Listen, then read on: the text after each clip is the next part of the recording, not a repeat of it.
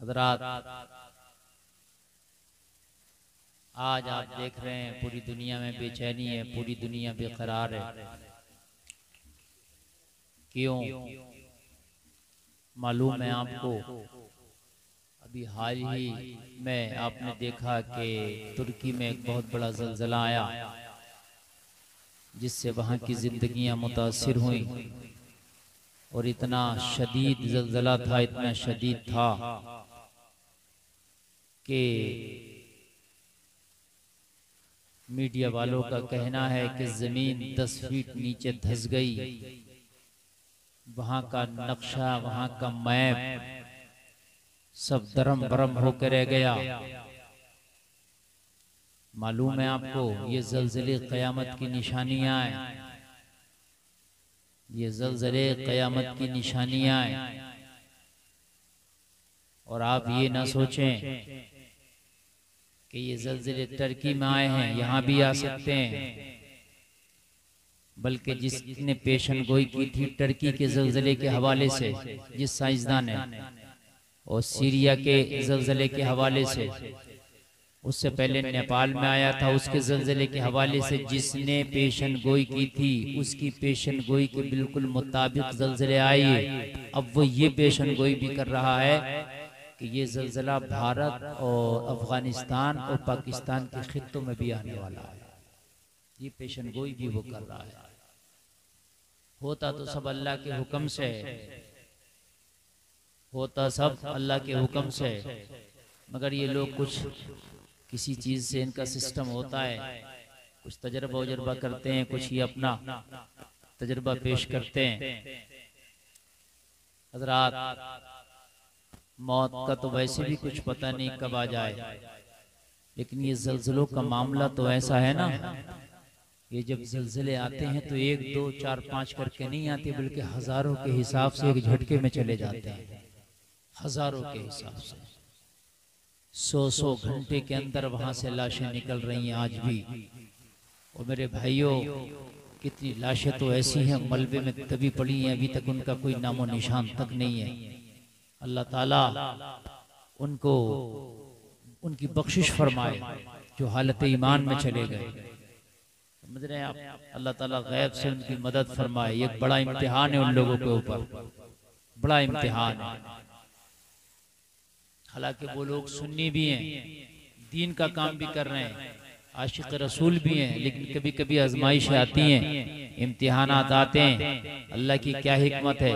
रब बेहतर जानता है मेरे भाइयों, हम कब बाज आएँगे अपनी जिंदगियों से? हमने कब कब कब तोबा के दरवाजे पर दस्तक देनी है? हम कब अपनी मौत की तैयारी करके अपने आप को संभालेंगे? समझ में नहीं आता। आज हमारे हालात ऐसे हैं। हम सामने से कब्र खुदती देखते हैं अपने हाथों से। अपने कांधे पर अपने अज़ीज़ को लेकर के जाते हैं। और अपने हाथों से सुपुर्द खाक करते हैं घर आके फिर कह कहो में हमारी जिंदगियाँ तब्दील हो जाती हैं। हमें ये भी नहीं पता कि अभी जिस अज़ीज़ को दफन करके आए हैं पता नहीं कि उस कब्रिस्तान में अगला जनाजा मेरा ही हो ये भी तो हो सकता है। अपने कांधों से जिस अपने अज़ीज़ को आप दफन करके आए हो सकता है कि अगला जनाजा उसी कब्रिस्तान में तुम्हारा हो। जिस बिस्तर पर आप ईशा की नमाज़ छोड़ के सोए हो हो सकता है कि आँख खुले, तुम्हारा वो बिस्तर ना हो, कब्र के बिस्तर पे पड़े हो। हो सकता है। हो सकता है ये रात हमारी ज़िंदगी की आखिरी रात हो। क्या पता है? क्या भरोसा है जिंदगानी का? आदमी बबूला है पानी का। बड़ी बरको शरार है दुनिया, बड़ी बेतबार है दुनिया। ज़िंदगी नाम रख दिया किसने? मौत का इंतज़ार है दुनिया। और रंगून के कैद खाने में मुगलिया सल्तनत का आखिरी शाह ये कह के चला गया। उम्र दराज मांग कर लाए थे चार दिन। दो आरज़ू में कट गए दो इंतज़ार में। मेरे भाई ये जो अल्लाह ने ज़िंदगी दी है ना ये जो अल्लाह ने तुम्हें जवानी दी है ना ये तुम्हारे ऊपर गनीमत है, उसकी रहमत है। वो कब इन सांसों को छीन ले, खुदा की कसम, पता भी नहीं चलेगा। मौत का फरिश्ता जिसके दरवाजे पर आया, वो वापस नहीं गया। कान खोल के सुनो।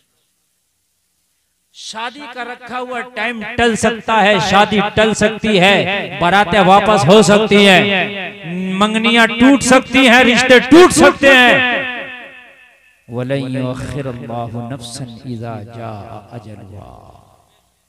लेकिन जब मौत का फरिश्ता आएगा ना तो एक सांस की भी मोहलत नहीं दी जाएगी। अल्लाह ने कुरान में मना फरमा दिया।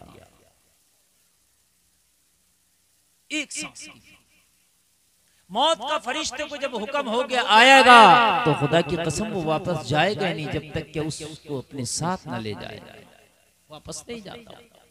न न सोर्स माने न रहम खाए न तरस खाए न किसी के दबदबे से दबे न वो रिश्वत से माने न तुम्हारे पदों से माने न सोने से न चांदी से न तुम्हारे भागने से न तुम्हारे दौड़ने से तुम कुछ भी कर लो वो वापस नहीं जाता। अई नमा तकूनु युद्रिकुमुल मौत वलौ कुंतुम फ़ी बुरूजिम मुशय्यदा। आठवें पारे में अल्लाह फरमाता तुम कितने ही मज़बूत किलों में क्यों ना बंद हो जाओ? मौत तो तुम्हें वहाँ भी पालेगी। कितने भी मज़बूत किलो में क्यों ना बंद हो जाओ। मौत तुम्हें वहाँ भी पालेगी। कहाँ भागोगे मौत से?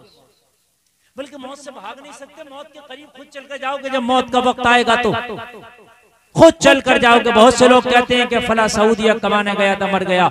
दुबई गया था मर गया। कुवैत गया था मर गया। वो कमाने नहीं गया था मरने गया था। इसलिए कि उसकी लिखी वहाँ थी। जहाँ जिसकी लिखी होती है ना वहाँ वो चल कर जाता अल्लाह ऐसे हालात बना देता है।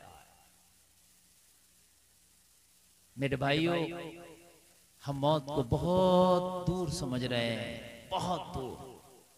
हमको लगता है कि अभी थोड़ी मरना है मैं हमने तो बूढ़े होंगे तब मरना है। मगर तुम्हें पता नहीं है मौत जवानों को भी आ जाती है। बूढ़े रह जाते हैं। मौत पोते को आ जाती है दादा रह जाता है। ये तो अल्लाह का निज़ाम है। अल्लाह ने जितनी साँसें लिख दी हैं उसके ऊपर नहीं जाएँगी तुम्हारी साँसें। कब अपनी ज़िंदगी को यार ये सोचोगे कि ये ये जो खुराफातों की ज़िंदगी हमारी गुजर रही है ये जो लहबो लईब की हमारी ज़िंदगी गुजर रही है इस ज़िंदगी से कब हम बाज आएँगे? सुनो। अल्लाह ने जो मैंने सूरत पढ़ी है कुरान में फरमाया जमाने की कसम इंसान के बारे में बताया कि नौ इंसानियत मुकम्मल घाटे में अल्लाह ने फरमाया। इंसान घाटे में है। अब तुम कह रहे हो मैं फ़ायदे में हूँ मैंने तरक्की कर ली इंसान चाँद पर पहुँच गया तरक्की कर ली। मैं कहता हूँ कितना चाँद पर पहुँच गया इंसान? कितनी तरक्की कर ली। दुनिया कह रही है मैंने जहाज़ बना दिया हमने तरक्की कर ली। और लोगों वो इन दुनिया वालों की तरक्की होगी इन अमेरिका वालों की तरक्की होगी इन चाइना वालों की तरक्की होगी इन रशिया वालों की तरक्की होगी। ये ये जहाज़ बनाना तुम्हारे लिए तरक्की नहीं। तुम्हारे तो ये पैर का मैल भी नहीं तुम कहोगे कैसे?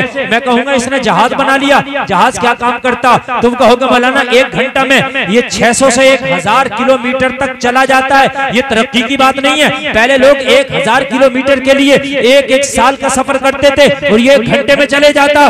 मैं कहूँगा, ये अब तरक्की कर रहा। मेरे नबी महराज की रात जब चले तो पलक झपकने से पहले ज़मीन से आसमान दुनिया पहुँच गए अब मुझे बताइए, कितनी तरक्की कर गई है?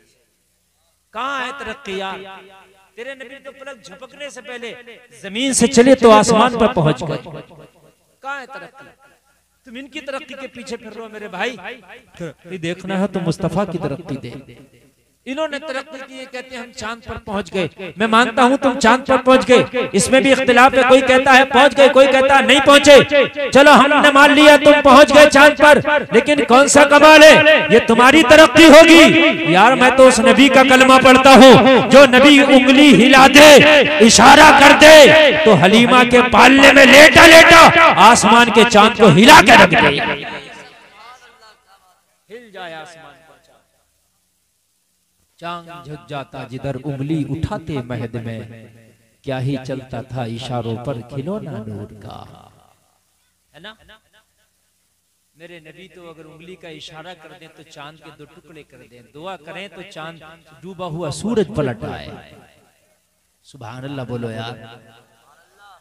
पूरी दुनिया के साइंसदान अगर मिलकर चाहें कि सूरज को वापस ले आए तो ला सकते हैं? बताइए मुझे सूरज तो दूर की बात है कि सितारा नहीं ला सकते। हम्म। हालाँकि कोशिशें बहुत कुछ कर रहे हैं बहुत कुछ करने की कोशिश कर रहे हैं। मगर तुम कितनी भी तरक्की कर लो जहाँ से तुम्हारी तरक्कियाँ खत्म होती है ना वहाँ से आमना के लाल की शुरू होती है। और आमना के लाल की बात बड़ी है हटा दो एक तरफ़ आमना के लाल के गुलामों की शुरू होती है। समझ रहे आप? मेरे भाइयों अल्लाह ने कहा, घाटे में इंसान घाटा। दुनिया कह रही है, हम फ़ायदे हम दुनिया की मानते ही नहीं। वो कह रही है, कहने तो हम तो कुरान की मानते हैं। मत है कि नहीं? दुनिया कह रही है, ज़मीन घूम रही है, कुरान कह रहा है, चाँद और सूरज चल रहे हैं। तो हम तो भाई कुरान की मानते हैं। भाई, बात है क्या नहीं? हम नहीं मानते भाई तुम्हारी। इसलिए कि तुम्हारी क्या, जिधर हवा चलती है, तुम उधर पीट कर लेते हो, आज कुछ कहते हो, कल कुछ कहते हो। कुरान तो जो 1400 साल से कह रहा आज भी वही कह रहा बदला ही नहीं। बताइए बदला क्या?